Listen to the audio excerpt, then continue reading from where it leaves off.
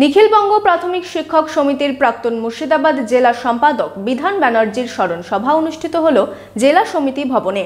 শনিবার বিধান ব্যানার্জির স্মৃতিচারণায় প্রথমে মাল্যদান, পুষ্পাঞ্জলি ও নিরাপত্তা পালন করা হয়। বিধান ব্যানার্জি দীর্ঘদিন শিক্ষক আন্দোলনের সঙ্গে যুক্ত ছিলেন। নিখিলবঙ্গ প্রাথমিক শিক্ষক সমিতি মুর্শিদাবাদ জেলার পক্ষ থেকে আমাদের প্রাক্তন জেলা সম্পাদক মাননীয় বিধান ব্যানার্জি মহাশয়ের স্মরণে স্মরণসভার আয়োজন করেছি। আমাদের সৎ, ন্যায়নিষ্ঠ একজন সাহসী নেতৃত্ব ছিলেন। তার কাছ থেকে আমরা, শুধু আমরা বলে না, আমরা ওখানকার যারা মুর্শিদাবাদ জেলার বর্তমান নেতৃত্ব আছে, তারা সবাই কিন্তু ওনার কাছ থেকে আমরা অনেক কিছুই পেয়েছি।